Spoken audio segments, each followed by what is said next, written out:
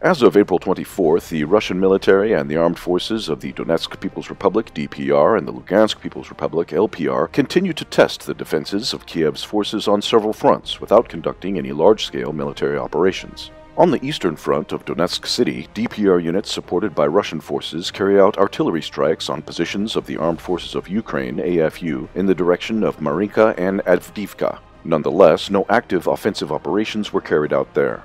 On the Lysychansk Severodonetsk front lines, LPR units are slowly pushing Kiev's forces out from their positions under the threat of encirclement. However, no major advance is expected on this front before the complete collapse of the AFU in the area.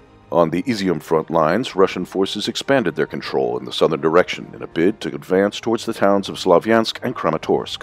Clashes were also reported near the towns of Pashkove, Dovhenke, and Velika Komishuvaka in the Kharkiv region, as well as near the towns of Novomikhailivka and Marinka in the Donetsk region. In the city of Mariupol, the Russian military and DPR forces have been working to secure the liberated areas. The remnants of the Azov battalion are still besieged in the Azovstal industrial area.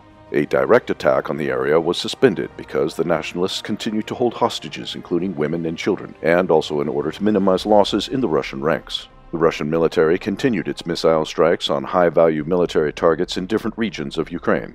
On April 24th, a strike with high precision ground launched missiles targeted explosive workshops of Kiev's forces near Pavlograd. The facilities were completely destroyed.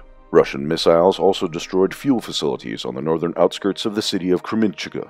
They were used for the production of fuel from an oil refinery as well as storage of petroleum products and supplied the AFU groupings in the Donbass with fuel and military equipment.